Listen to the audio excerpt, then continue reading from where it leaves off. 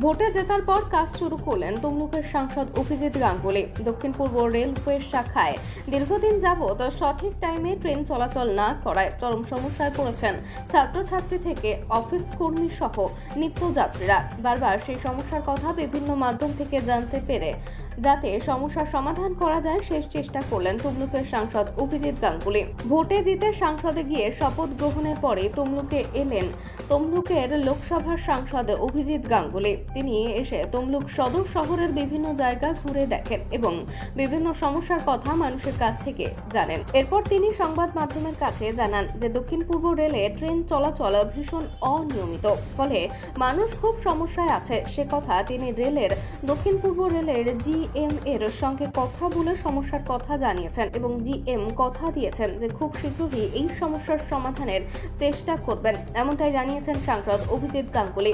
লোকসভা ভোটে জেতার পরে সাংসদ অভিজিৎ গাঙ্গুলি কাজ শুরু করায় খুশি তমলুক লোকসভা কেন্দ্রের সাধারণ মানুষ। দেখুন, আজকে এখন পার্লামেন্ট চলছে। এই পার্লামেন্টের অধিবেশনের মাঝে আমি আমার পার্লাম, আমার পার্লামেন্টারি কনস্টিটিউয়েন্সিতে এসেছি মানুষের সঙ্গে যোগাযোগ করার জন্য। তো আজকে আমাকে এই যে পার্টির নেতারা বসে আছেন, যুবকর্মীরা বসে আছেন, তারা আমাকে একটা জিনিস জানান যেটা অত্যন্ত প্রয়োজনীয় এবং গুরুত্বপূর্ণ। সেটা হচ্ছে যে গত প্রায় দেড় বছর ধরে এই সাউথ ইস্টার্ন রেলওয়ের এই সেকশনে প্রতিদিন বিভিন্ন লোকাল ট্রেন বহু লেট করছে, এমনকি মাঝে মাঝে ক্যান্সেলও হয়ে যাচ্ছে।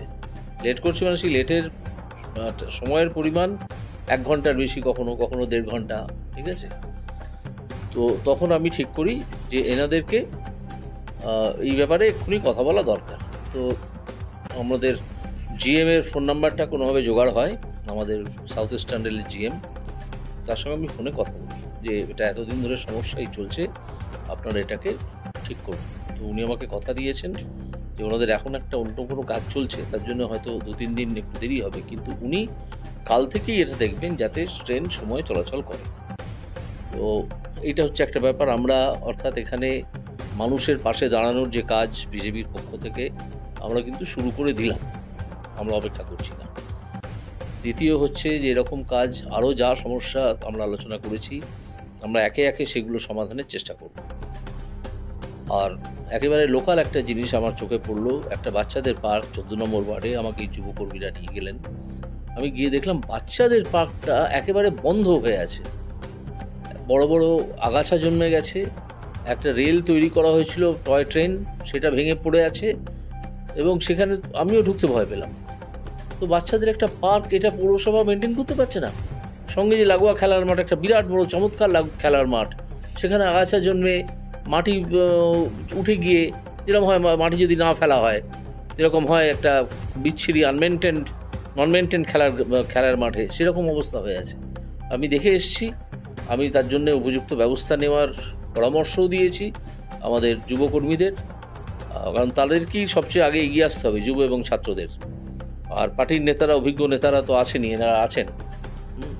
তো এই কাজ আমরা শুরু করে দিয়েছি। এলাকার এবং পুরো এই পূর্ব মেদিনীপুরের এবং শুধু তাই না পুরো জঙ্গলমহলের বাসিন্দাদেরও যে ট্রেনগুলো লেটে আসছে, সেগুলো কিন্তু তাড়াতাড়ি ঠিক সময় চালাতে হবে। এটা আমরা আগামী সাত দিন বা দশ দিন নজরে রাখব। আমার যতদূর ধারণা আছে, তিন তারিখে পার্লামেন্ট সেশন শেষ হবে।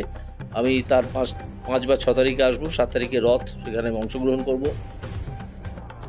আমি আবার খোঁজ নেব। এনাদেরকেও বলেছি যে নজরে রাখতে, কতটা ট্রেন লেট হচ্ছে। আমরা শুধু তমলুকবাসী নন, আশেপাশের অন্য সব যারা এই ট্রেন ব্যবহার করেন, তমলুক কনস্টিটিউশন কনস্টিটিউয়েন্সির লোক নয়, অন্য যারা ব্যবহার করেন এই ট্রেন যাতায়াত করেন, তাদের উদ্দেশ্যে বলতে চাই যে আপনাদের সুবিধে অসুবিধের প্রতি আমাদের প্রখর নজর আছে এবং আমরা আপনাদের পাশে আছি এবং আপনারা জেনে রাখবেন যে বিজেপি মানুষের জন্য কাজ করে এবং করবে। তোমার নাম? অঙ্কিত ঘোষ। ট্রেন কতক্ষণ লেট ছিল?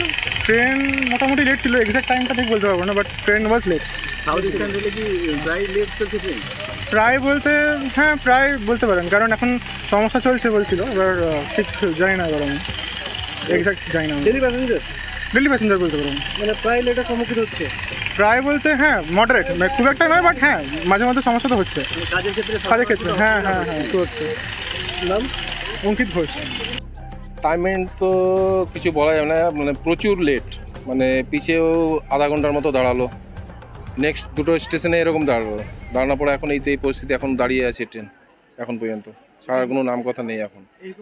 রেগুলার হচ্ছে এরকম? Regular but I don't know regular কথা বলতে পারছি না কিন্তু আজকে আমরা যাওয়া করছি আজকের কথা বলছি আপনাকে।